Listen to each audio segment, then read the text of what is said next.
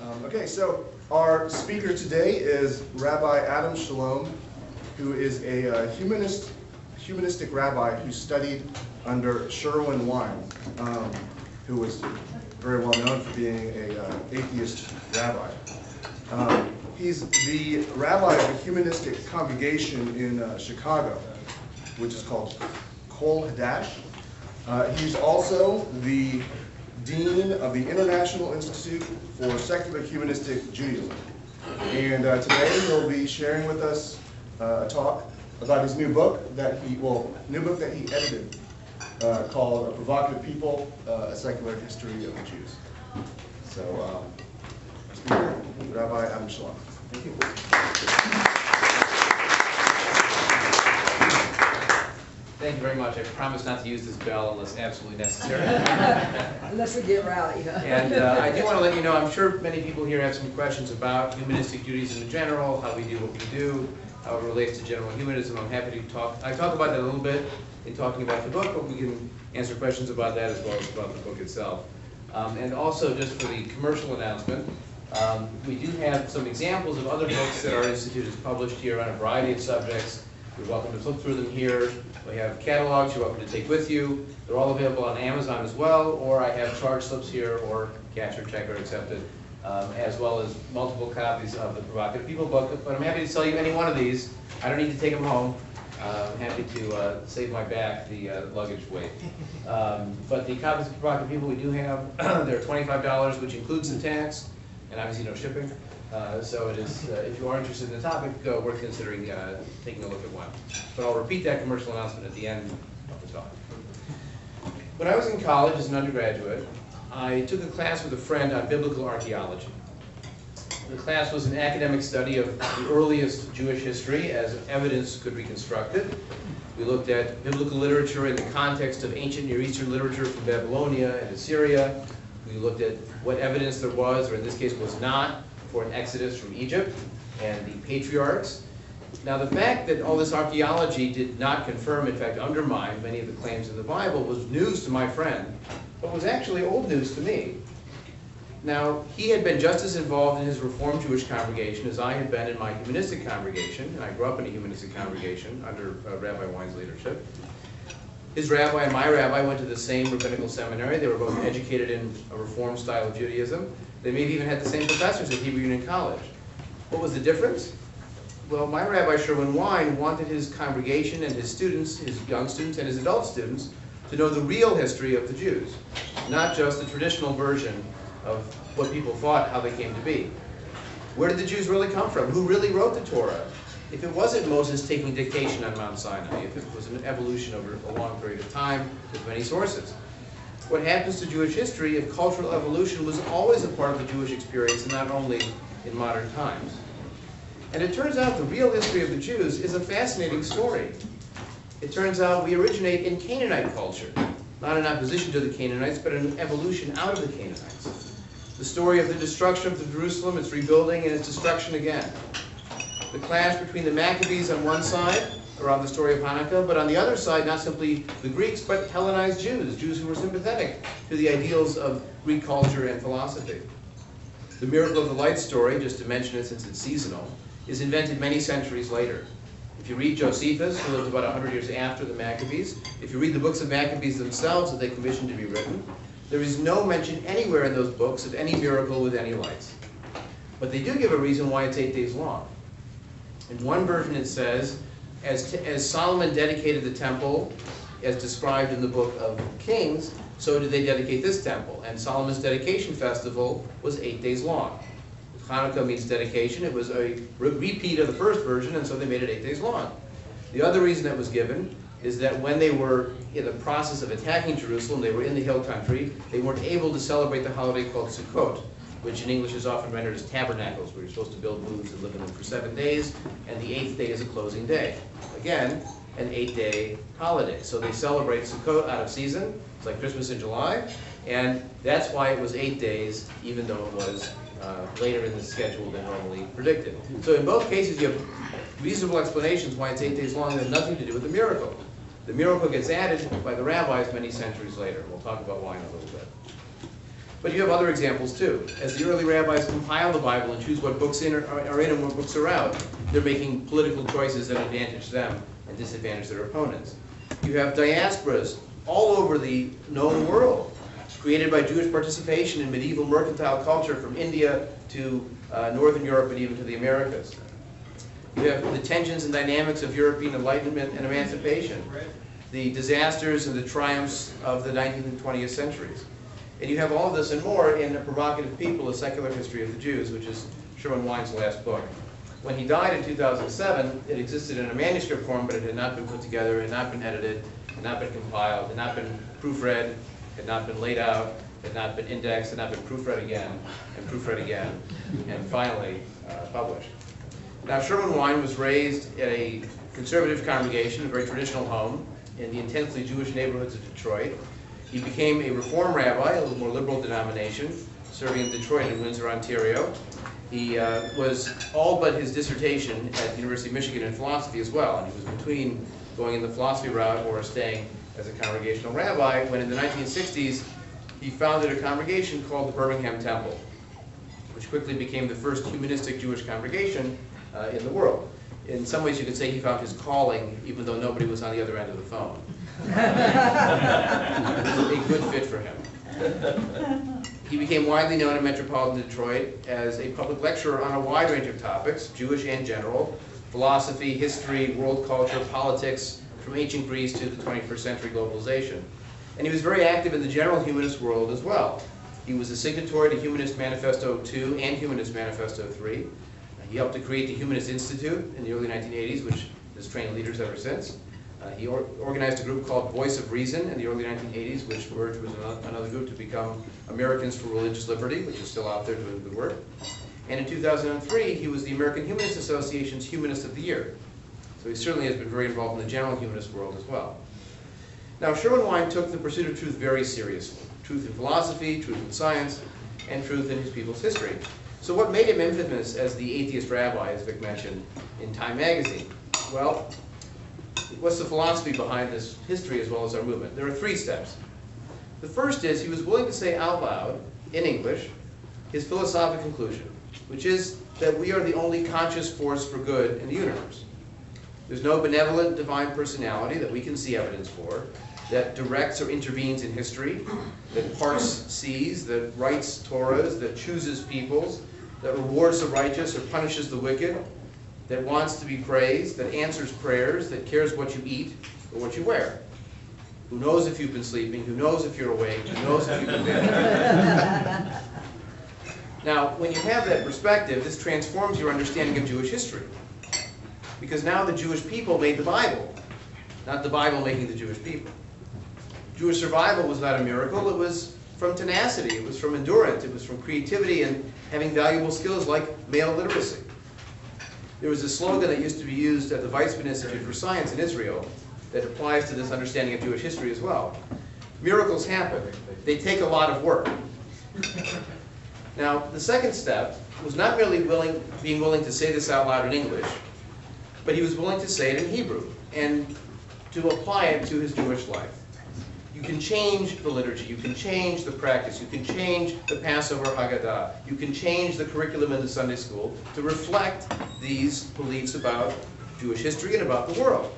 You can be consistent, you can have personal integrity with your Jewish cultural connections and your humanistic approach to life and the past.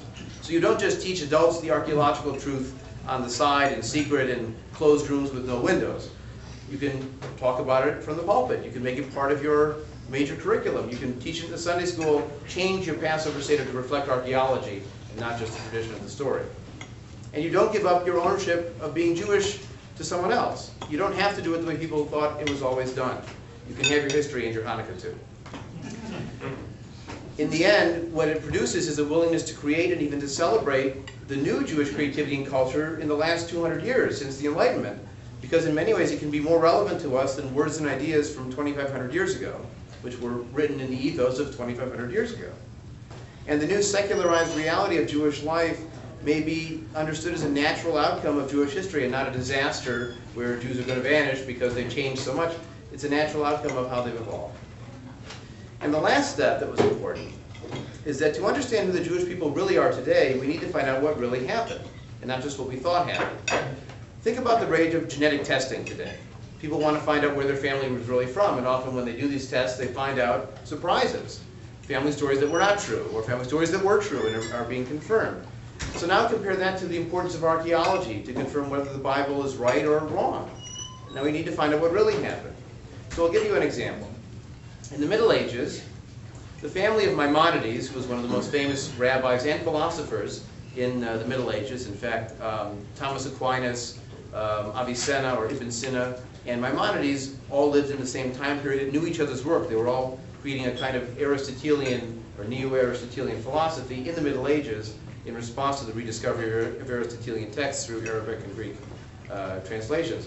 Well, Maimonides is one of these major figures in this period, but he's also a major sage in Jewish life who wrote a masterful code of Jewish law, commentaries to the Bible, responsa literature answering key questions people would have. He was the preeminent rabbi of his age. But early in his life, when he was a child, his family was living in Spain. And an invasion of fanatical Muslim Berber tribesmen named the Almohades invaded southern Spain, and including the area where the Maimonides, uh, Maimonidean family lived. Now, that family stayed there for a couple of years, and then moved from there to North Africa, where the Almohads were from and still in force, and then eventually to Egypt, where they were able to join the Jewish community in Egypt. And the question is raised, did Maimonides' family, including Maimonides as a young man, actually convert to Islam? Well, it may have been the case that they had to because when the Almohads invade, they put the Quran on the edge of their sword and said, convert or die. You know, pick the Quran or you get the sword. And so most likely, their family did convert. And that's how they were able to move along where the uh, tribesmen had come from to get to Egypt and then reemerge as Jews later on, sort of prefiguration of a lot of what are called Marranos or secret Jews during the Inquisition period. Now, if you take the very pious perspective, that the great sage Maimonides could have never converted. There's no possible way. Well, then you're going to miss out on understanding a lot of his writing because there are times when he's very sympathetic to people living under Islam and the difficulties they face. And there are other times when he's very angry and bitter in responding to a certain provocation that Islamic culture presents against the Jews. So you can see that his biography makes a big difference in understanding his writings. And understanding his writings because of the impact he had on Jewish life is very important to understand the Jewish community and Jewish philosophy. So that's why we need the real history. We have to find out what really happened. Now for decades, Sherwin Wine taught a class at the Birmingham Temple, which he founded, called The Real History of the Jews. Now it's a bit chutzpahdik, or as I heard um, Al Gore say once, chutzpahdik, um, to say that this is the real history as if all the other histories are wrong, false, whatever. Uh, but in this case, he combined his tremendous depth of knowledge in Jewish history, his voracious reading, with brilliant personal insight, inimitable wit, and he taught them to the best of his knowledge what he knew happened in Jewish history. Now, I was one of his students from youngest ages all the way through rabbinical school. So after he died, I took on this project of putting the book together. And if it takes chutzpah to write a book like this, it takes even more chutzpah to edit a book someone else has written like this, particularly when he's not around to argue with anymore. Um, so I, I did my best. But I want to share with you some of the strengths of Sherwin Wine as a teacher, which are also strengths in the book. So as one example, he had a tremendous knowledge and erudition in world history and culture, not only in Jewish culture.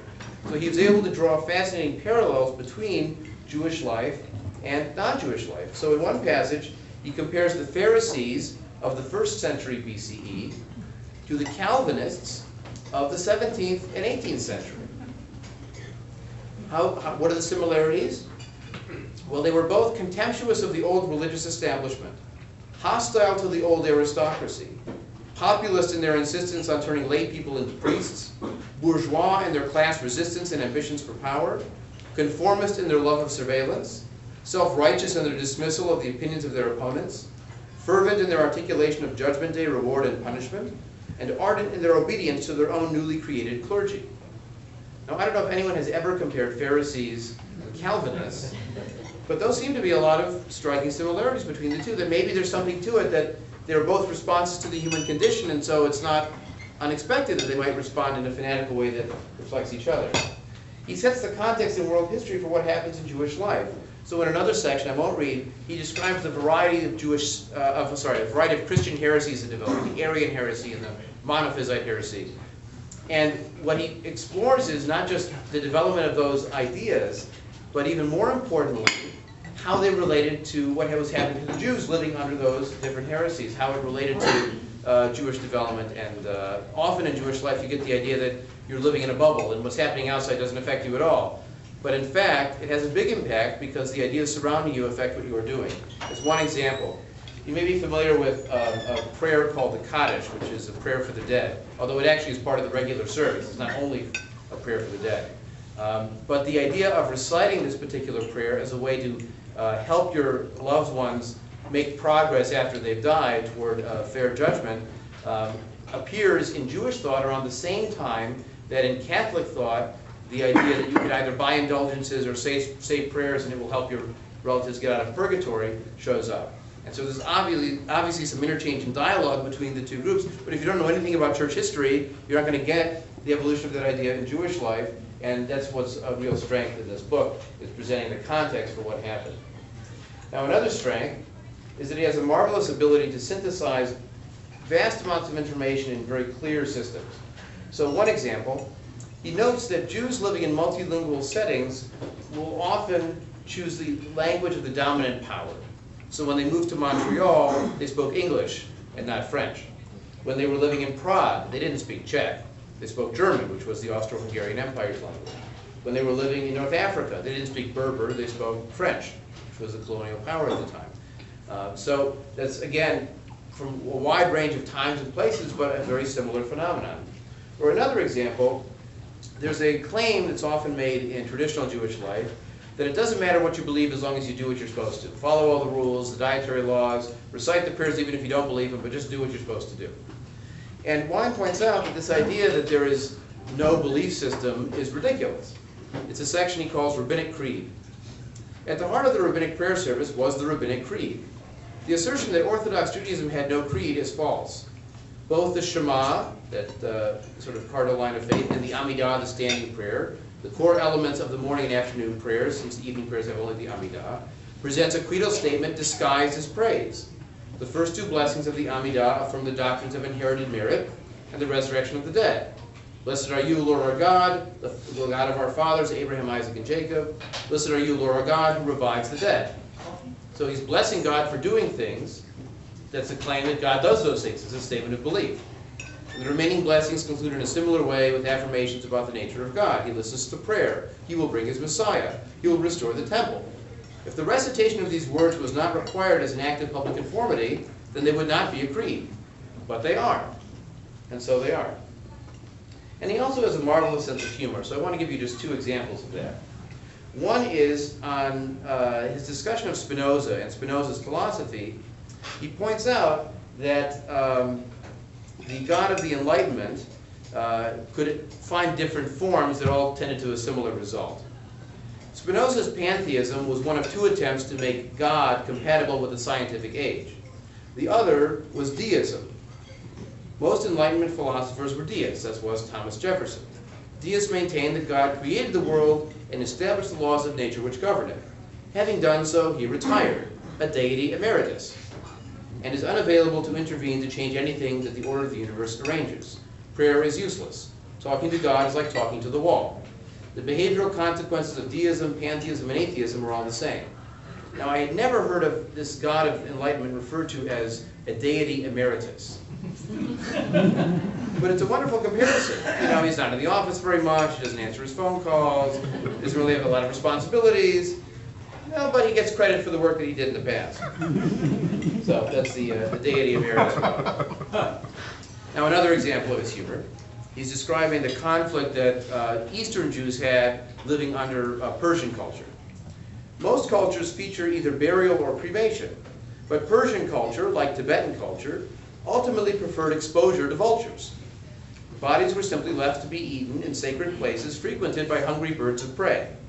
The reason for this choice is lost in dim antiquity, but the Zoroastrian priests of the Persians offered a religious justification. They claimed that earth and fire were sacred and must not be defiled by the dead. Traditional Jews have a hard time dealing with cremation. You can just imagine how they must have responded to vultures. Imagine you're putting your your relative out there for the vultures, uh, that doesn't seem very respectful. So you can imagine a cultural conflict between those two styles of burial. Now, Sherwin himself described his project in the introduction to the book. The origins of the Jewish people, the origins of the, Bible, the evolution of priestly Judaism, all these important chapters in Jewish history that have been distorted by mythology and apologetics have alternate stories. The new alternatives are less romantic because the gods have been reduced to ideas in human minds. But in other ways, the new stories are more interesting and exciting because they are not merely the repetition of familiar religious doctrine. Flesh and blood people of the narrative are no longer the passive victims of divine manipulation, but rather the authors and the creators of the events themselves. So now you get a natural history, a secular history, a human history of how these people really came to be, how they came to write the books that we now read as the Bible or, or rabbinic literature. So a couple examples of lessons from the book, and then I want to open up for comments, questions, uh, anything like that. The first point is that what's Jewish about Judaism is the Jews. It's not that it came from Sinai, that, not that it has a core set of beliefs. If you compare the animal sacrifice of the temple in Jerusalem, the polytheism in the first temple period that was demonstrated in the book of Kings, there's a lot of evidence for that, the neo-Hellenistic Aristotelian philosophy of Maimonides in the Middle Ages, the Jewish mystical school of Kabbalah, whether it's medieval Kabbalah or Madonna's neo-Kabbalah, the Enlightenment-inflected rationalism of 19th century Reform Judaism and secular Judaism in the 20th century. They don't have theology in common. They don't have ritual practice in common. They don't have dietary laws in common, liturgy, lifestyle. The Jews have been everything from farmers and shepherds to warriors and priests to merchants, urban intellectuals, to dot-com innovators. The answer is that there's nothing that ties them all together other than their connection as a people.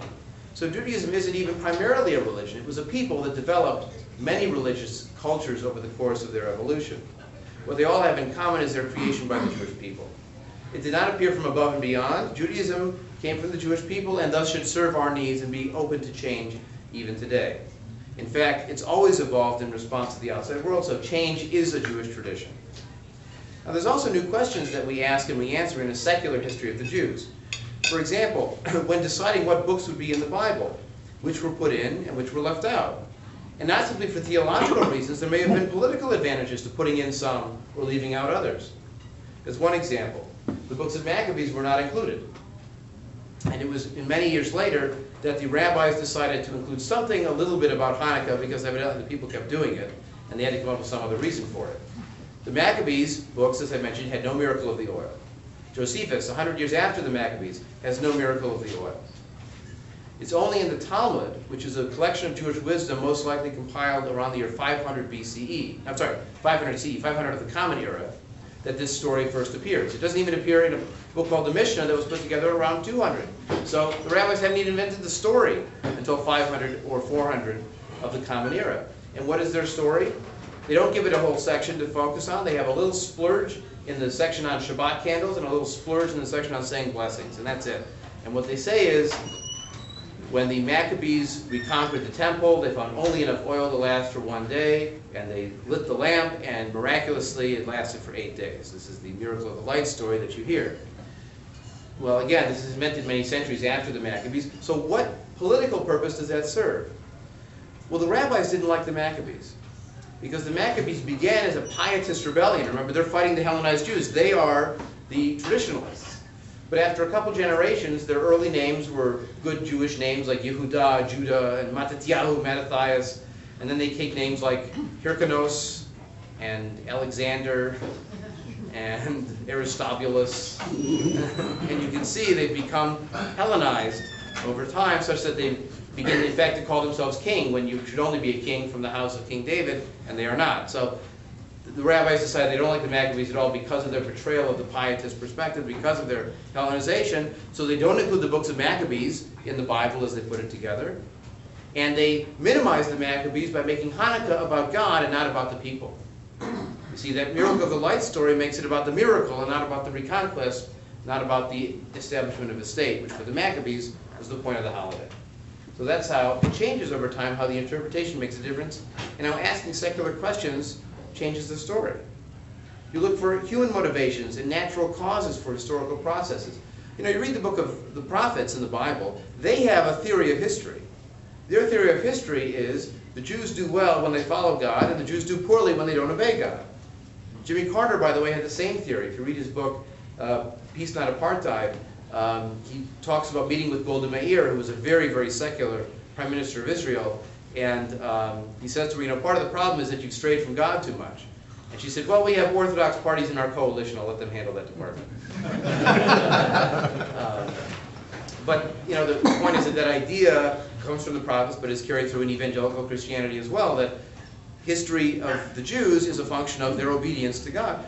But a secular history doesn't believe that. It's based on human beings. And after all, I don't buy what the prophets say because, again, their lifestyle, their worldview is so radically removed from our own that while they say something's relevant to us, a lot of what they say is irrelevant or even obnoxious to our perspective.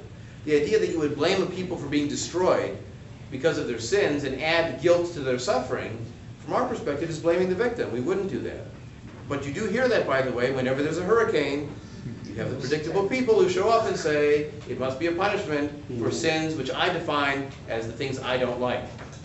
So if there's an earthquake or a tornado or a drought in a religious community, it's obviously not a judgment because I like those people. But when there's a hurricane in New York City or New Orleans, well then it must be, it must be a judgment. Okay, so you see how a secular history is going to take it more reasonably. Um, you know, as one example, the vast majority of Jews in the world today have been tremendously secularized. What percent of Jews would you guess keep kosher? Fifteen percent, Just say ten. fifteen percent, maybe twenty percent depending on the community. What percent of Jews like Hanukkah candles? Well, that's closer to eighty percent, eighty-five percent. Not hundred percent, but much higher. It's a once in a while thing and it's around Christmas time, so it has communal reinforcement. But if you went back four hundred years, those numbers would be very different. You know, 400 years ago, how many Jews were not Orthodox? Maybe Spinoza and his friend. And then, so all, you know, 100% minus one. Um, but today, the vast majority of Jews live moderately secularized lives. Even ones who are uh, Reform or conservative Jews who wouldn't call themselves secular have clearly been secularized. But after all, that's happened to the world around us as well. Look at church attendance rates. If you went back 200 years, what percent of people went to church every Sunday versus now? Or even more recently, we've seen the rise of people who call themselves none of the above, which doesn't mean that they're atheists necessarily, but it does mean that they're not attached to a church institution. Even that is a kind of secularish or secularizing process. After all, it was easy to believe the Bible was true Jewish history when everyone else believed the Bible was true Jewish history around you. Now, Spinoza may have started the ball rolling on modern biblical criticism because he speculated that Moses, in fact, did not write the Torah, given the fact that at the end of Deuteronomy, it describes Moses' death and what happens afterwards. It also points out at a different point in the Bible that Moses was the most humble prophet who ever lived. Now, it's unlikely that the person who is the most humble prophet who ever lived would write that he was the most humble prophet who ever lived. And there were other anachronisms and things that we found later, but the idea that Moses wasn't the author opened up who was the author, when was it written, and so on. And Spinoza speculated it was written much, much later than it was claimed. That's the beginning of modern biblical criticism to find out who really wrote the Bible and why. It wasn't carried on by the Jews. It was carried on actually by Protestant theologians in the 18th and 19th centuries that developed what we call today the documentary hypothesis. But in the end, it became uh, deeply rooted in our understanding of Jewish history, uh, even though it wasn't done by the Jews. That's again why you need to learn from all sources to find out the real history of the past. So in this book, you'll find attention to secular Jews as well. The Jewish involvement in the socialist movement and the labor movement. The anti-traditionalism of the Zionist movement, where they said, we're not going to wait for a Messiah to take us, we're going to go ourselves, and we're going to build a new Jewish culture that is not religious, that is not pious, but is creative and self-assertive. You have the acculturation to our surrounding society presented in a positive way, not as a negative disaster. The contribution of Jews to world culture, not only to Jewish life, including perhaps being a model for, uh, for globalization. You see, the Jewish experience may well be the future for most of the world. In feudal Europe, the Jews tended to live a commercial lifestyle. They were not allowed to own land, so they couldn't be landowners. And they were also not interested in being serfs, because honestly, who wants to volunteer to be a peasant? Nobody. So instead, they lived in this middle ground of living in towns and cities, much more than the general population. They were much more urbanized, and they lived a commercial lifestyle. They were in crafts and trade. They were merchants. Occasionally, believe it or not, they were tavern owners. They would buy the right to be able to make liquor in a particular area from the landowner, and they would take the grain, convert it into, into alcohol, and then sell it back to the population. Uh, sometimes they even did a job called tax farming, where they would buy the right to collect taxes in a particular area, and of course, nobody likes the tax person. Uh, led to the association again of Jews with money from a peasant mentality where money was evil, uh, but it was a way of making a living.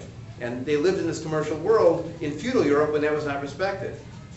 Come the 18th and 19th century, the beginning of what used to be called liberal economics or free market economics, now the Jews are very well positioned to move forward in the commercial economy, but also their experience of being a diaspora population among a rooted population may be the element of the future. Think about American colonies in Shanghai and Hong Kong. Or even in this, in this country, people who move from one place to another but still root for their hometown teams or feel connected to where they come from. Well, that's the model that Jewish life has experienced for many centuries. Very early in their history, the Jews tasted the possibility of becoming a world people. This development may be their most enduring contribution to the world. Many historians will still maintain that monotheism and a compassionate ethics were the major contributions of the Jews. But monotheism is an increasingly problematic ideology in a secular world, and philosophic monotheism has its roots in many cultures. As for compassionate ethics, it is neither ethical nor empirically responsible for any nation to designate, designate itself as the inventor of ethics. Given their history and influence, the Jews have been and remain a provocative and extraordinary people, the unwitting precursors of a global world that they helped to invent. Living as an American in China is a, was, was uh, prefigured by living as a Jew in Spain or in Poland or in other places where your identity was distinct from the people among whom you lived. Another lesson that's very important. The greatest time in Jewish history is now. Sherwin has no nostalgia for the glory days of Abraham or the wisdom of Solomon. I had a professor in high school, whenever he was asked when, what period he would like to live, he was a professor of history. Whenever he was asked him what period he would like to live, he always said, right now, because of the dentistry. and the sanitation, and the immunizations, and I mean, keep in mind that two-thirds of this room would not be here if I were giving this lecture 400 years ago. So sometimes you have to admit the greatest time is now, not the golden days of medieval Spain or wherever else. The greatest time is now. Despite the Holocaust, never before have the Jews, both individually and collectively, possessed more wealth, more power, and more influence. We don't talk about it a lot because of anti-Semitic implications. It's sinister, but it may be true. The global economy which the Jews helped to pioneer, now embraces the planet. The realm of science, in which Jews have excelled far beyond their numbers, has now replaced religious faith as the dominant source of intellectual power in the countries that possess military and economic strength. The legacy of Jewish Nobel Prize winners outshines the prophets and sages of the religious past. It is science that now has the power to transform human existence. None of the insights of the biblical past have cured disease, lengthened life, triggered a dynamic economy, or forged the technology to unite humanity. In fact, the hardcore of religious fundamentalists who hate the modern world and the world of science derive their inspiration from the wisdom of that era. The emerging global culture, which rests on the achievements of science, has dramatically raised the standard of living for over one half of the people on our planet. Most of the readers of this book would not have been alive to read any book without the successes and special contributions of Jewish medical scientists, and he gives them a lot more credit than the prophets of the Bible. And the last point to make is that for Sherwin Wine and for a humanistic Jew, studying Jewish history is Jewish practice. You don't only connect to being Jewish by reciting prayers or uh, studying the Torah text. You can learn where our people came from and how they developed, how they came to be who they are today, whom they may become in the future. That's what studying Jewish history is about, and that is a deep and meaningful Jewish practice. The meaning of the Jewish experience is the subject of this book, but also the concern of humanistic Judaism as well. Now, Sherwin Wine did not invent the facts of Jewish history. He read them, he synthesized them, he understood that the sweep of the Jewish experience has lessons to be drawn from it. Lessons about what happened and why, lessons about what may yet happen, and what we can do with that knowledge going forward. His last gift is the sharing of knowledge. For all of his creativity, his independent thinking, his activism, his creating organizations, Sherwin was a consummate rabbi. And if rabbi means teacher, then that work as a teacher continues. So, I'm happy to answer any questions you have either about humanistic Judaism in general, or specifically about Jewish history, or about this book in particular. But again, I want to thank you for the invitation to be here.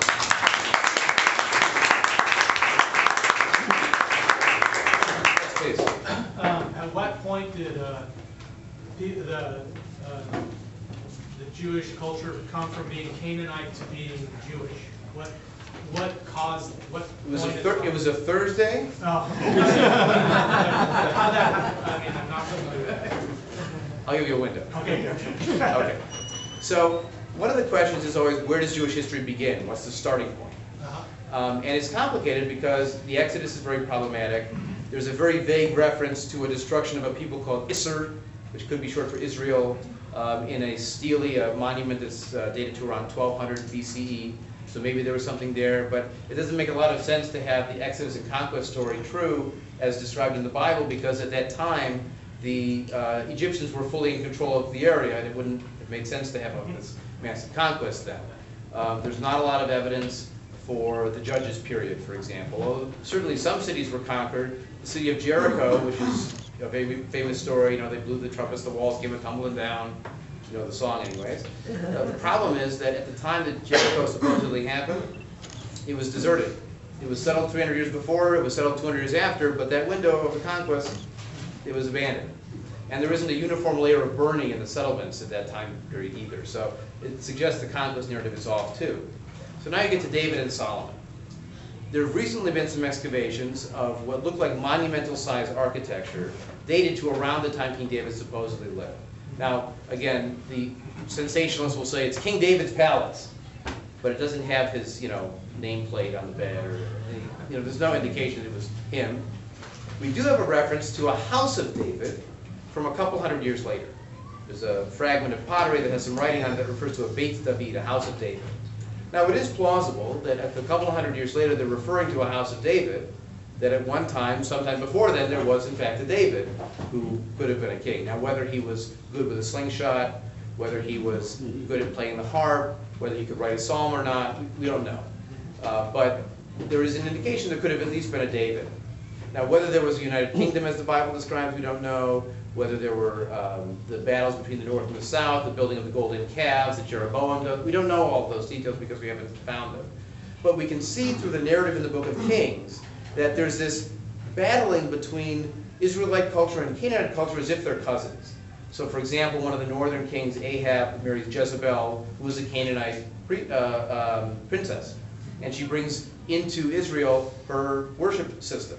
But it's not that foreign because it's in an allied language. Canaanite language and Hebrew language are very, very similar. In fact, the name of the Hebrew God, Yod He Vav He, pronounced Adonai in traditional circles, but most likely pronounced as Yahweh. Also sometimes comes out as Jehovah, depending on who's uh, doing the telling. Um, that is one of the Canaanite pantheon of gods. There's El, who is the sky god, like Elohim, which is another name for God in Hebrew. There's El, the sky god, and then he has his consort Asherah, and then you have Yahweh, and you have Baal, and you have Anat, um, sort of the next generation down, and of course Baal and Yahweh are battling over Anat, and that's, you know, the classic rivalry and, and mythology. Um, but he's clearly a god among gods. And so this is why you can see in some of the uh, narratives in the Bible that there is this relic of a polytheistic past. Um, in the story of Noah, the sons of God come down and have relations with the daughters of men. Um, in the Ten Commandments, it says, You will have no other gods before me. You can have them behind me or after me, but not before me. Uh, there's uh, the idea uh, in the uh, Song of the Sea, after the Pharaoh's chariots are crushed by the Red Sea, uh, Miriam sings, Who is like you among the gods? Mi kamocha ba'elim. Who's like you among, it's often translated as among the mighty, because they don't want to say the gods, but really in Hebrew it says the gods. So again, you get the sense of Yahweh as being elevated in importance. That's part of this differentiation process where now he becomes the Hebrew God, Baal becomes the Canaanite God, and they're beginning to segregate. In the end, it was most, I'm sorry, in the end it was most likely a splitting of one culture into two, where you had the coastal cities that became identified as Canaanite, or Phoenician was the Greek term, and the hill country became identified with the Hebrew peoples. Um, and that most likely took place between, say, 1000 and 700 uh, BCE. By the time of around 800 BCE, we begin to get a lot more confirmation of what the Bible describes. So a king named Yehu is described in the Bible, and we actually have a picture of him in the Assyrian records where he's bowing down, paying tribute to the Assyrian king, and it says, Yahu of Beit Omri, um, which means uh, Yehu from the house of Omri, who was the founding king of the northern kingdom, was like the house of David, was for Judah. So that's confirmation of a biblical piece. We have a description of a tunnel digging during the siege of Jerusalem, and we found that tunnel and a, uh, a plaque in the tunnel that describes how it was made, very similar to how it was made in the Bible. You have a burning layer at that date that confirms the biblical narrative with the king around the same time. So you begin to see that there's a lot more confirmation by 700 BCE. Again, where does it start? It's sometime in that fuzzy period between 1000 and 800. Long answer to a short question. Oh, that's exactly. Okay. Yes, please. Um, Couple of things. First, you know, on, the, on, on Egypt, the, um, those Egyptian scribes were very, very busy people. They kept track of every commercial transaction, the salary of every soldier, but supposedly, according to some of the versions, up to three hundred thousand Israelites uh, that, that, that went uh, with Moses. And uh, you'd think that those scribes would have jotted a little bit more about the loss of their whole workforce. Well, well, exactly. I mean, actually, the, the Bible narrative describes 600,000 men. If you add women and children in there, the estimates are around 2 million. But again, it's legend. It's not what actually happened. You can dig through the Sinai Desert. They didn't break a pot. They didn't make an outhouse. I mean, you'd think there'd be some kind of evidence. Uh, but this is, this is again the function of legendary history. Now, there may have been some of the Hebrew people who experienced a slavery in Egypt. But if it was 60 people that left, it's not, an, it's not a valuable story. If it's 600,000 people, now it becomes an epic saga.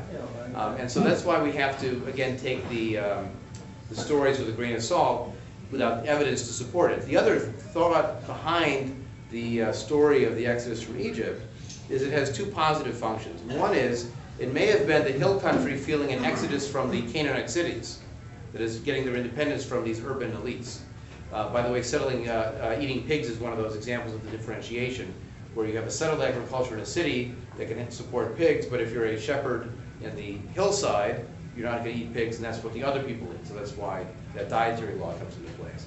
Yeah. And so an Exodus story could have a mythological function like that, but it also gives the Jews roots in one of the two major cradles of civilization. Do you remember where Abraham comes from?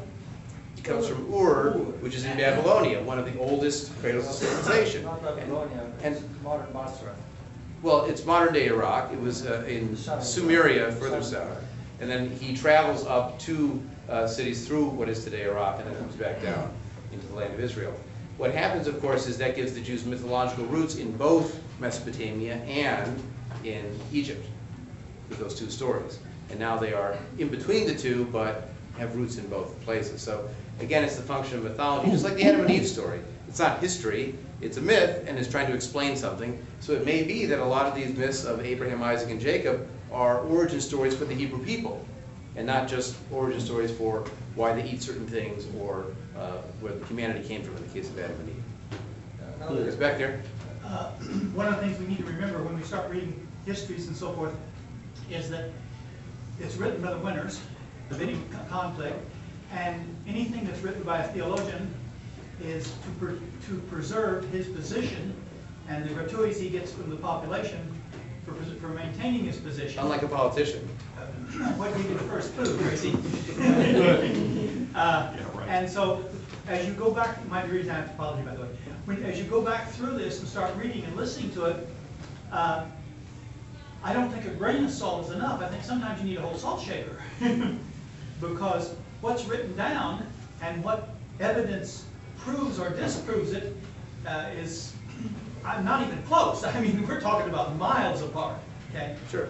Uh, Well, you have to understand, I'm coming at this as a humanistic rabbi, not a traditional rabbi, which means that we use biblical archaeology, the forefront of, I mean, think about Israel Finkelstein's The Bible Unearthed, or even more recent works. That's what informs this book and what informs our approach to this history. We don't buy the Bible story just because it's in the Bible.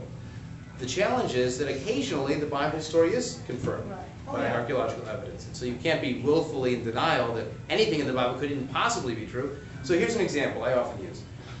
You could theoretically learn something about the Democratic Party from the Republican Party's website. Yeah. It would not be necessarily accurate, there'd be a lot of spin to it, you'd have, you know, you have to filter through the interpretive lens there. Um, But there is some, so the same thing is true when describing the history of Israelite polytheism. There's a lot of condemnation of it in the Torah text and also in the narratives in the Book of Kings where they clean out the temple and clean out the temple. They have to clean out the temple so many times, which you can read between the lines is the people wanted to keep putting it back in there. In fact, there's a narrative in the book of Jeremiah, which happens after the temple's been destroyed, where the women of Jerusalem come to Jeremiah and they say, You idiot, you had us get rid of all that goddess worship in the temple, and look what she did to us. She destroyed the city, and so we're going to go worship the Queen of Heaven because we don't want to listen to you anymore. And he says, Well, no, it's because you worship the Queen that Yahweh destroyed you. So you, you can argue it both ways. We only have the Yahweh side of the story. I've, I've always felt that if God created man, man being a gentleman, returned the compliment. Yes, Bill? conversation uh, online just recently with a uh, a right-wing Christian guy who was claiming that uh, the uh, Hebrew text and history coincide with, um, I believe he said, uh, Greek uh, text and history uh, around the time of Jesus that confirmed Jesus' existence and the crucifixion and all that sort of thing. I've, I've never heard anybody make that claim before. Well, what happened in the Middle Ages, the, I mentioned the historian Josephus. Uh, Josephus lived in the first century of the Common Era, uh, which is around the same time that Jesus did. So he lived somewhat later, um, but in the same ballpark. Certainly the same time as the early Christians. And Josephus wrote a number of very important books. He wrote uh, a history of the great war of revolt against the Romans that took place in around the year 70 of the Common Era.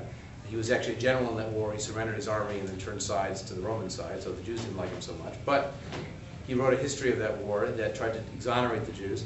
And he also wrote a, a history of Jewish history called The Antiquities of the Jews.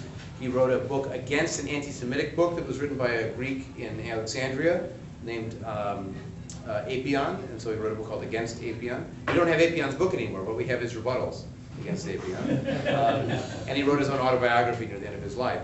So what happened with Josephus was in the Middle Ages, a line got inserted into the text that says something like, and there was a group called the Christians, and there was a name, a a man named Jesus, and he was the Christ. That No further- inserted in the Middle No Ages. further comment than that, and it seems very unlike anything that Josephus would have said, given that he wasn't Christian or had nothing to do with it. So it's mm-hmm. most likely an insertion that was added, but it was used to claim that even Josephus testifies to the, the antiquity of Jesus, because it was embarrassing that he didn't until that emendation was made. Uh, So that might be what he's thinking of. Um, Look, I, I have no difficulty believing that there was a Jesus. In fact, the word Jesus is a modification of the name Joshua in Hebrew. Yeshu is what is translated as Jesus, but that's just a short form for Yeshua. So think of Josh, Joshua, this is another form of it. Um, so the belief that there was a Jesus, or that people thought he was a Messiah, wasn't unusual either. There were other Messiahs that were claimed at the time. Had been for who- several years, several yeah, hundred who years, were, who were likewise failures. The, the, the uh, difference was that in this case, his followers came up with a way for him to live on, at least in their minds, right? So, um, the, the fact that the there, there could have been a Jesus is certainly possible. Um, that he could have been crucified as a Messiah is certainly possible.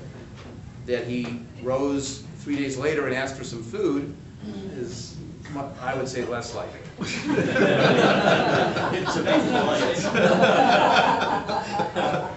On a more practical note, uh, if you are an humanist uh, rabbi or Jew, what do you say in terms of circumcision?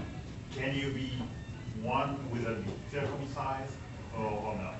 Well, one word for an uncircumcised Jew is a woman. That is, that is, they're, they're not circumcised and they're fully Jewish. In fact, they make other Jews. So, so it's not the only way to be Jewish. I mean, the other point is that um, traditionally what makes you Jewish, in the, or even the Orthodox definition, is if your mother is Jewish, if you're born Jewish. Not what you do, not what you eat, not what you say, not, not what you believe. That's again a claim that Judaism is an, is an ethnic identity as much as a religious and cultural connection too. Now, I will say that the vast majority of Jews do choose to circumcise their children. Um, my approach is it's up to the parents to make the choice. Uh, it doesn't determine whether the, the child connects with Jewish history, culture, family, and all that. That's a function of their lived life, not what they look like. Um, And in the end, it's up to the parents to make that choice. Um, You know, right now, the American Pediatric Pediatric Association has a very mildly positive recommendation for it, that the benefits slightly outweigh the risk of complication. Uh, But in the end, my approach is, it's up to parents to make that choice, and different parents will make a different choice, but my job is to affirm their connection to the Jewish people, whether or not they choose to do it, or if they choose to do it in a hospital as opposed to having a ritual ceremony. Um, In the end, uh, I'm thrilled to be able to welcome a child into the Jewish family, even from one non-Jewish parent and one Jewish parent. I don't care which parent is the Jewish parent, because again, for us, being Jewish is a family identity, and you can live in more than one family at a time uh, and feel connected to both cultures. Yes, please. You just mentioned that implying that the matrilineal, you know, being a Jew descending from your mother, that negates the Karaites who believe that it's, a- it's through the father's line, not the mother's line. The Karaites? Yeah. Well, the Karaites is a sect that evolved around the ninth century of the Common Era. It was in response to a battle for succession over who was going to control the Jewish community of Baghdad and by extension the Eastern diaspora. And um, they decided they wanted to reject rabbinic tradition, reject the Talmud, and go back to just the Bible. When you go back to just the Bible, there's nothing in the Bible that clearly indicates that the mother defines being Jewish. In fact, there are plenty of stories of Jewish men marrying non-Jewish women. The story of Judah and Tamar, the story of Moses and his Cushite wife. Abraham marries someone that isn't Jewish.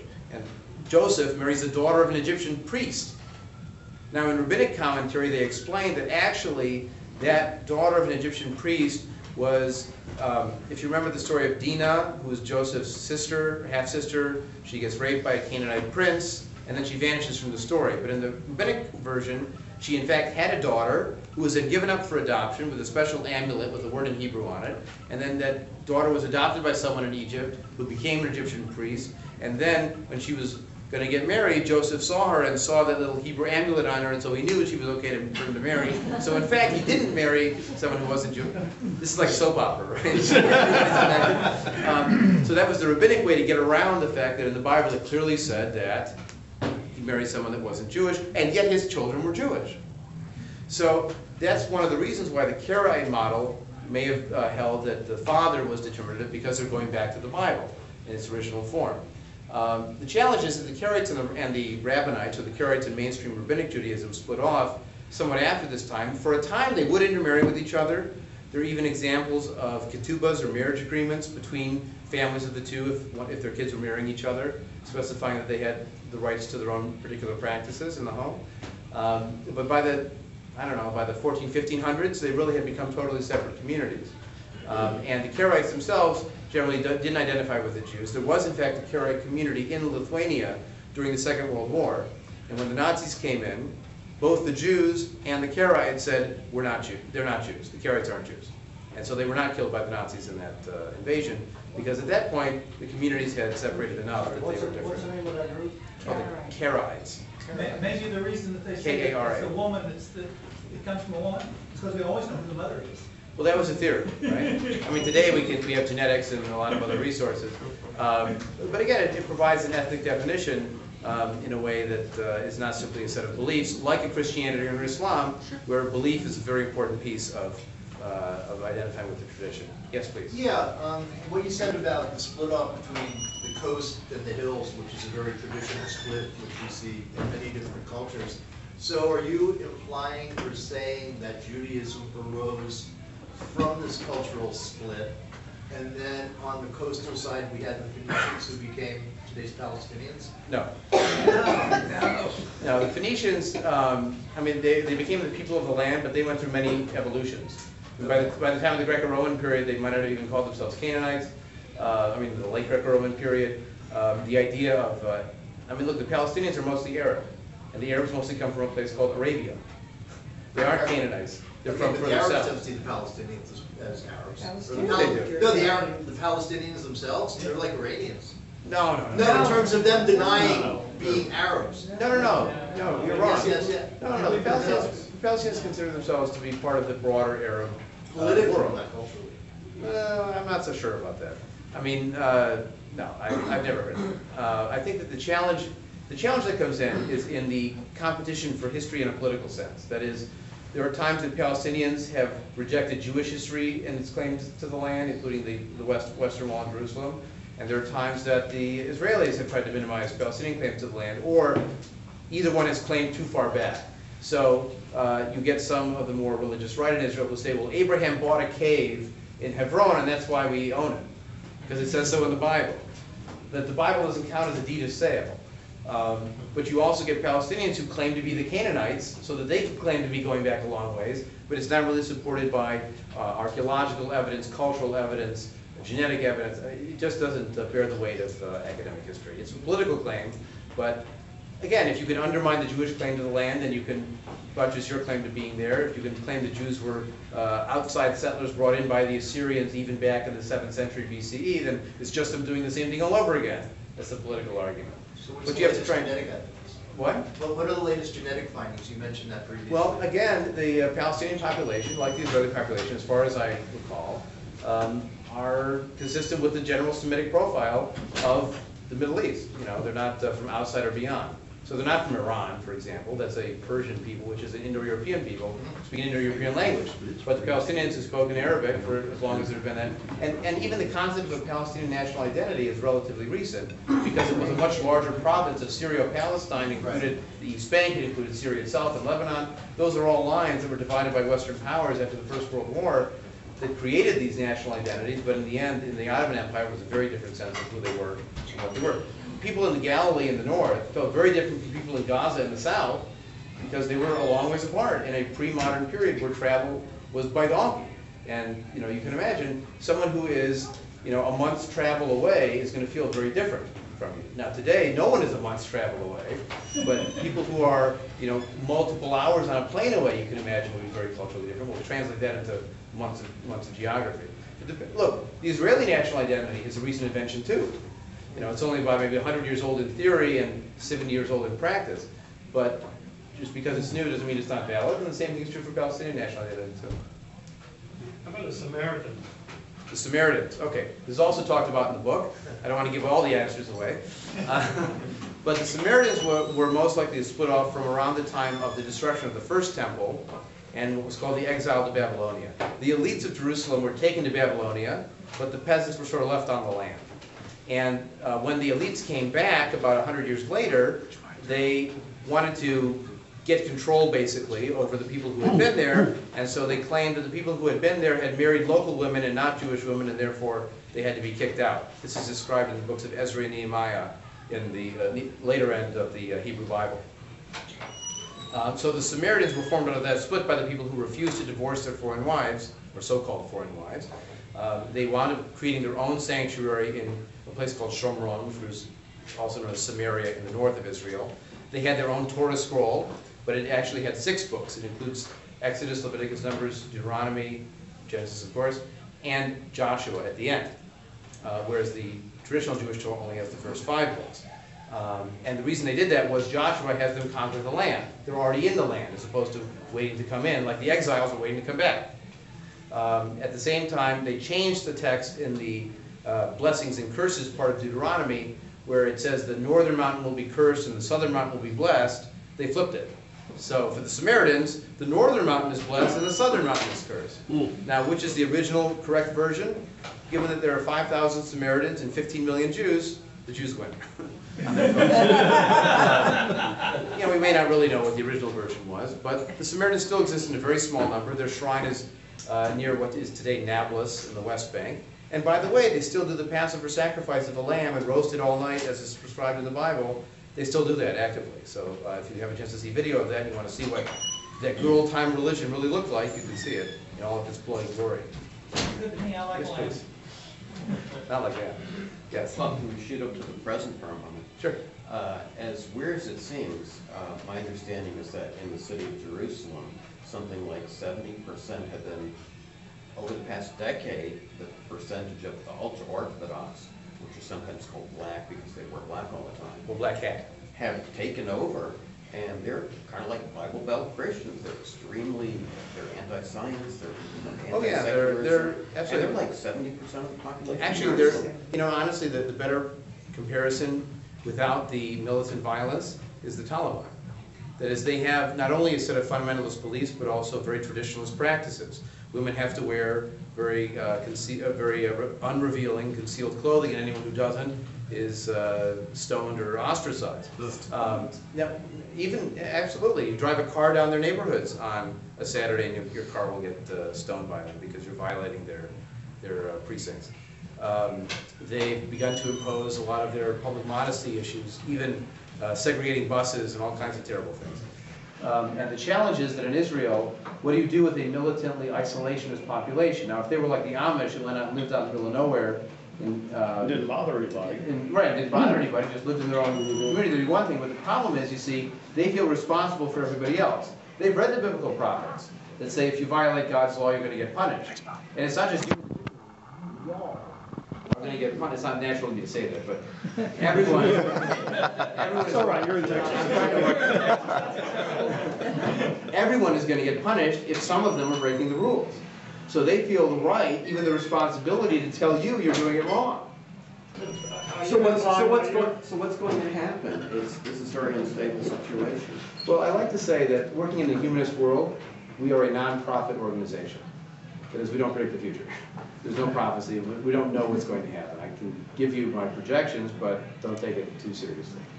Um, I mean, my best guess, uh, the birth rates will continue to increase, but they don't keep all the people that are born that way. There are people who leave those communities.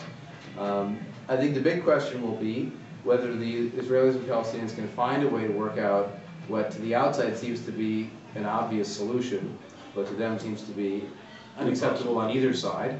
Um, and uh, if they can do that, then uh, this population will, will be dealt with because the Israeli society will turn to face internal issues. As long as they're facing external issues and missiles and everything else, they don't want to deal with the internal divisions over religion and government. Uh, But as long as they're not dealing with that because of the outside threat, it's going to continue to get worse. And the question is whether they've gone too far, because now I think the secular public is getting mad. And they're getting mad because it's beginning to infringe on their lives. Well, part of it is that the Orthodox people don't want to serve in the military. Oh, and the, and the secular people resent it tremendously. They also don't work as much, because the men, if they were to work, would have to go serve in the army. But if they're studying Torah and religious texts, they don't have to serve in the army, so they study those, it's like a perverse incentive thing. If they worked, they would have, they would uh, have to go in the army, which they consider not kosher. So instead, they don't work, and they study and live on welfare and charity until their forties. And so it creates a very non-productive sector. The two most non-productive sectors in Israeli society are Arab women and ultra-Orthodox men. And you can't have 15 or 20 percent of the society that could be working not working. It's not, yeah. it's just not sustainable because you're paying for them for everybody else. And then the military service is a big source of resentment because in Hebron, for example, you've got 250 religious settlers being protected by 2,500 mostly secular soldiers. And it doesn't make any sense to be living like that. Um, So it's produced a lot of resentment, and the draft law right now is something they're debating very strongly. They may start drafting ultra-Orthodox men into the army. Uh, should. And, Ooh, uh, boy, that- and the secular people would be happy to see that, although it would create other problems for the army. Uh, But they would have to deal with that if they come to it. So I think the secular population is getting mad enough that things may change in the next few years. Going back to history. Hold on, I want to make sure someone else has a chance if they, anyone else? Yes, please. Um, Is there a reason that somebody who is, does not have a Jewish um, heritage would want to read this book that you're quoting from? Sure. I'll give you a few reasons why. Um, One is, it's a fascinating read.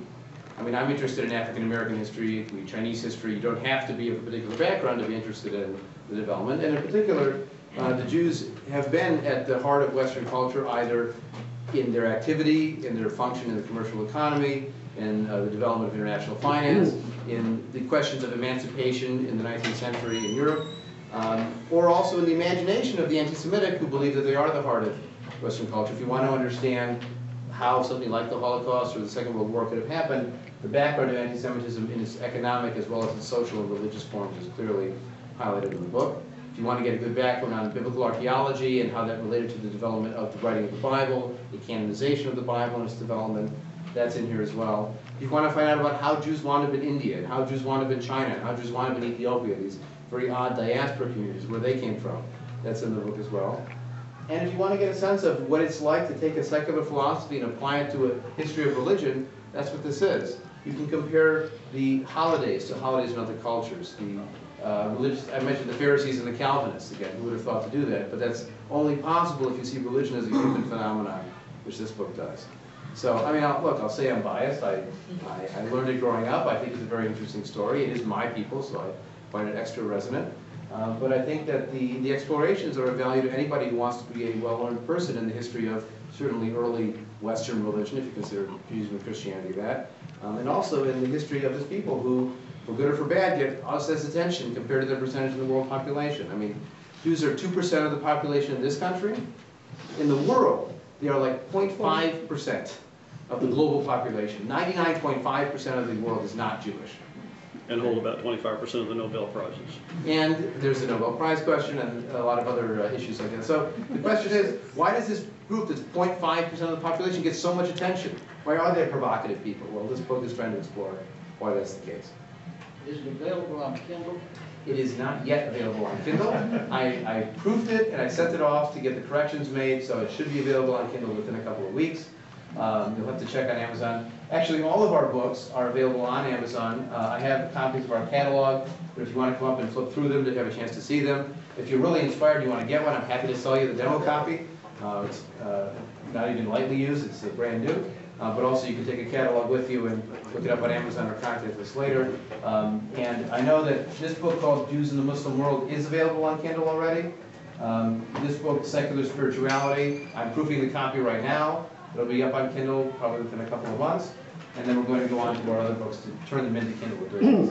In the meantime, some of them are in paper, um, and provocative people will be out soon here. Yes, please. You, I may be incorrect, but you left me with the impression that you're implying the Palestinian Arabs are a relatively late coming to the Middle East, or to the Lebanon, you know, seventh century. Yeah, yeah. But in fact, there were Arab tribes long before that, the Nabateans, Yes, that's the true. That's true. And Herod the Great is implied to be actually half Arab. Oh, absolutely. His father was a a forcible convert by the Maccabees. And in an ironic twist, he then wipes out the Maccabees himself. Uh, You know, the Maccabees, again, they're, they're seen in Jewish circles as the heroes of the Hanukkah story. But they themselves go out and forcibly conquer other peoples, forcibly convert them, even forcibly circumcise them, because they see their Jewish identity as an extension of their national identity. Um, and the Nabateans are one of them. So you're right, there are Arab-related tribes that go through there. I mean, again, okay, so are you Palestinian because you're in the land that will later be called Palestine? Or, you know, what, what, and also, by the way, we have to remember that just as the Jewish population in the land rose tremendously in the 20th century because of the Zionist movement, under the British Mandate period, the Palestinian Arab population rose tremendously in the same time period. Hundreds of thousands of Arabs moved from other parts of the Arab world into that territory for economic opportunity that was created by Western development. Um, you know, the, the British took seriously this white man's burden. They built railroads, they built roads, they used labor, and so both the Jewish and the Arab populations are growing at the same time. So if the Arabs said the Jews are Johnny come lately, they can say the Jews, uh, the, the Arabs are Muhammad come lately, because they both had populations come in uh, in the 20th century that hadn't been there for centuries. Any last uh, questions or comments? Yes, please. You, uh, you were talking about Maimonides, said, you know, talked about he probably had to convert and so and on, and you use the expression convert or die. Mhm. Actually, the way I remember it, from having been on the scene in southern Spain for several years, they, uh, for seven or eight hundred years, yeah, there, there was problem between the Moors and uh, the Spanish. Uh, But by and large, the Moorish uh, government allowed, uh, you know, everybody to live together very happy. You're, you're right. It was Until this, fourteen ninety-two, no, it was this new invasion. What happened was, there was a long period of time where Jews and Muslims in Spain got along very well. In the 1200s, this group called the Almohads, who were fanatical were Berber converts to Islam, swept into uh, Spain. It was sort of a response to the beginning of the Reconquista, the reconquest. They swept into Spain, and they actually made it worse for the Jews in the Muslim part of Spain because of this converted die mentality. And a lot of Jews fled from the Arab part of Spain to the Christian part of Spain, which, by the way, is where they got their language, which today is called Ladino, or Judeo-Spanish. They didn't get it from the Arabs. They got it from living under Christian Spain between, say, 1240 and 1492. It wasn't until 1390, when the Inquisition begins, that it begins to get worse in the Christian part of Spain, then they flee back to Granada, which is where the Muslims are still in control until 1492. It's the last holdout.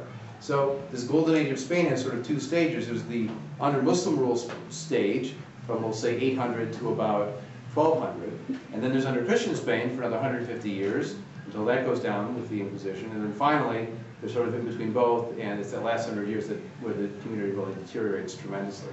So you're right that by and large, there was a long period of tolerance, but um, it also uh, wasn't good under the Maimonidean period. The last thing I'll point out is, you always have to ask who's writing the history, and that doesn't only apply to the Bible. The major Jewish historians who began writing modern Jewish history were a school called the Wissenschaft des Judentums, which means uh, Jewish studies or Jewish science. But they began writing in the 19th century, when Jews were not fully emancipated in Germany, where they were writing. And so they would often use the golden age of Spain as an argument say, look at how wonderful and creative we were in that period. You should let us be as integrated now as we were then. Give us the vote, let us serve in the army and uh, serve in the bureaucracy and uh, become lawyers, go to universities, all these things. So it was written as an argument. So again, you have to ask the question, just like with the Bible, how, how true is this? How much of this is spin and positive emphasis? Um, by and large, in the Middle Ages, it was much preferable to live under Muslim rule than it was to live under Christian rule. You didn't have as many pogroms or riots. You didn't have expulsions because Jews were expelled, by the way, not only from Spain in 1492, but they were expelled from France in 1390 and from England in 1290. So they, they were basically gone from Western Europe by 14, by 1492. They left Portugal in 1497. That's when the Inquisition got there. Um, but in Muslim countries, they were able to live as second-class citizens, but they were able to live relatively stable lives for long periods of time. Different countries were different. Iran was worse. Uh, Egypt was generally very good. Um, you know, uh, Algeria was okay. Just depending on where you were and what the time period was. Uh, but that's that's one of the challenges in looking back at history today. Jews are much happier living in the Christian world than they would be living in the Muslim world. Times change. So it's kind of along those lines, but where did the uh, concept of dhimmi come from in the Muslim world? All right, so uh, the dhimmi is a concept of a tolerated minority. Um, for Muslim thought, you could, when you conquered people, you wanted them to become Muslim, but there were two groups who would be tolerated. Those are people that have a written monotheistic revelation. Of the book, as they say. Yeah, the people of the book, right? The Ahl al-Kitab, which is actually where that phrase, the Jews as people of the book, comes from. It's not a Jewish phrase, it's a Muslim phrase applied to Jews uh, that we then adopted. Um, I like to say we're people of the books because we didn't stop with one. But uh, the idea of having a written monotheistic revelation gave you a tolerated status if you were Christian or if you were Jewish. What that meant was you had certain rules. You couldn't build your houses of worship too high, they couldn't be higher than a mosque. You couldn't uh, blow your shofars or ring your bells too loud. Uh, you couldn't be too demonstrative. In certain times and places, there were discriminatory rules about, like uh, a Jew walking into a town in, uh, in Persia could only wear one shoe. Uh, sometimes they had to wear certain markers or hats, or um, they couldn't wear swords. They had to be a disarmed population. So they had a kind of second class, and they had to pay a special tax. It was called the jizya. It was an additional tax for non-Muslims. But if you were willing to pay that additional tax, and you were willing to live with these mild, mild disabilities, you could live where you wanted to. You could have your rabbis control all your personal status. You didn't have to go to imams for that. You could make a living in just about any profession you wanted to. Uh, you could move from town to town. You weren't restricted in your movement. Um, and so they had these freedoms that made life endurable. The problem is that no one would want to go back to that from a position of equality. Occasionally you hear uh, Hamas, which is the um, fundamentalist Muslim group based in Gaza now, but also with other branches elsewhere, um, say that they're happy to let the Jews stay living in what they will call Greater Palestine, as long as they live under the banner of Islam. What that means is go back to your dhimmi status, go back to your mm-hmm. second class status, but no one will accept that once you've had the experience of being a full and equal citizen without these kind of mm-hmm. ethnic disabilities. I mean, in, in, in all honesty, I can use this language here, um, for the Hamas mentality, for the fundamentalist Muslim mentality, the Jews living in Israel, where you have Jews in charge of Arabs, means the Jews are being uppity. Hmm. They're uppity, they need to be put back in their place, right? That was the model. They're second class and they need to stay second class. They can stay, but they have to stay second class. And that was the dhimmi model that, again, was manageable in the Middle Ages compared to expulsions and riots in Europe, but certainly uh, no model for today. much better than. I kind of want to dispute that characterization right here. Okay. Because it's not put in the proper context. It's the seventh century. And people come in and say, there are some rights that you have that are Mhm. independent. Well, one might consider it that in the seventh century, it was kind of advanced. Yes, I, I'll accept that. The absolutely. other thing about the tax, and just for those that don't know me, my name is Mohammed, and I happen to be from Algeria, Oh, so my father's family's from Syria. Yes. Um, You know, it is not something that comes to the standard of today. Right. But in the seventh century, I don't know, I wasn't there. But The other thing too is on the tax, is people keep on repeating that, but the non-Muslims were not obligated to pay the Muslim tax. Right, the, and the- and the obligation And for charity. everybody wants to get their share of money, so Yes. you, you cannot pay, you're not a Muslim, you cannot pay the Muslim tax. So they invented a tax, another, I mean, they invented, it was just another tax. And, and one of the. The other advantage that you had with that tax, that you didn't have to fight in the military. That's true, but you also weren't able to defend yourself, because you couldn't wear swords. Well, no, you you were supposed to get protection from the, Yeah, oh, it could be, and it depended on the time and place, it could be protection or it could be protection, you know? yeah. I- mean. And, I mean, one other example, um, you know, there was a provision in the, in, uh, there was a document called the Pact of Omar, which was sort of the, the template for dhimmi and, uh, and uh, Muslim relations. And there was one provision that said that you're not allowed to repair your houses of worship. That you can have them, but if something happens, you, know, you can't sort of keep them fancy and shiny. So the question is raised, you know, depending on the time and the place, well, what if they just happen to get damaged in an incident, right? Well, or, I mean, if it's an earthquake or if it's just the passage of time, it's one thing, but you could imagine that there could be an incident and something would happen. So one example that actually redounded to the benefit of Jewish historians, um, there's a tradition in Jewish life that you're supposed to bury documents that have the name of God written on them. Put them in a place called a geniza, which is a special storehouse, and then you take them to the cemetery and bury them. And in Cairo, they had a geniza, and they were taking their uh, material to be buried, and there was some kind of, they got too loud, or there was some kind of riot or incident there um, in response to that, in some ways with this dhimmi status question. Um, so what they started doing in Cairo was they never took them to the cemetery again, because they were nervous it would create another incident. They just kept saving them, and saving them, and saving them. And then they started saving anything that was written in Hebrew letters, not just with the name of God on it. And they kept saving everything, letters, contracts, uh, wedding agreements, inventory lists. And so in the 20th century, these were rediscovered. And this is a massive treasure trove of documents going back to the 1200s. We have Maimonides' handwriting from documents in that Oh, wow. But only because of this accident that they didn't want to keep taking it to the cemetery because of the incident. So, I mean, the, I, I agree with you that in general, the Muslim life was certainly preferable to the Christian world at the time. And um, at the same time, the Pact of Omar could be interpreted leniently or could be interpreted more seriously. There I wasn't trying to defend the life, I was just trying to say, when people talk about dhimmis, they put it in the twenty-first century Yes, right. context. Exactly. Where in fact, these were laws that were enacted in the seventh century. I'll give you another example. In the, in the Ottoman Empire, they had something called the millet system, where you had a chief rabbi, a chief imam, a chief priest, and they controlled personal status questions. If you want to get married, you went to a rabbi that was under the authority of the chief rabbi. In, uh, in Persia, in, uh, in the Ottoman Empire, it was called a chacham bashi. Because chacham was the uh, Sephardic term for rabbi. Um, and that was, again, very progressive for the Middle Ages, you didn't have to go to a religious official or a bureaucrat of some other religious persuasion to be able to get married or get married. Well, what happened was when the British mandate took over in Palestine, as it was called then in 1917, they kept that same system. And when the Israeli government was formed in 1948, they kept the same system.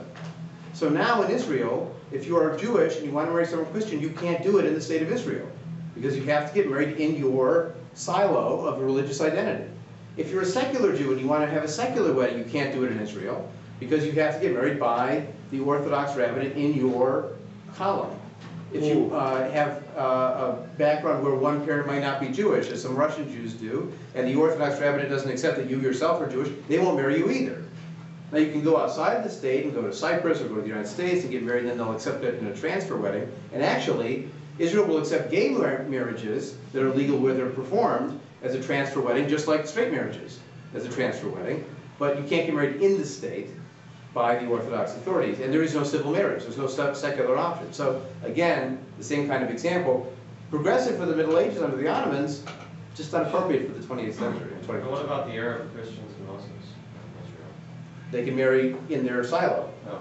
but again, the official authorities won't marry them across the lines from each other. Yes, please. Does the provocative people discuss uh, the current situation in Israel and Palestine, and does it discuss the, what the Arabs call the Nakba, and the justice of that, and the, followed by the expulsion of just as many Jews from Arab countries? Yes, um, it, the book does touch on what happens around the founding of the state, both with Palestinian Arabs, sometimes leaving, sometimes being expelled from where they were from, the Israeli, uh, sorry, the uh, Sephardic Jews and Eastern Jews leaving where they're from and coming to the state of Israel. Uh, that's all part of the discussion. It's obviously only through 2007 because he died in 2007, so it's not going to have you know, the last five years worth of developments. Uh, But it certainly is looking forward to, um, you know, giving its best analysis of the state of affairs at the time, including the evolution of the state um, in the 20th century. Well, I want to thank you again for the chance to be here. I'm happy to chat more informally. I encourage you to come up, take a look at the books. If you want to find out more information about humanistic Judaism in general, I'm happy to talk about it. I've got business cards, you can sign up for more information. If you do want to get a copy of the book, um, I have uh, some change, I have to remember where I put it, and uh, I also uh, uh, have a charge if you want to charge or write a check to the Institute. So again, thank you very much for the chance to be here. What would this discussion have been like in a Baptist church? We'll have to see.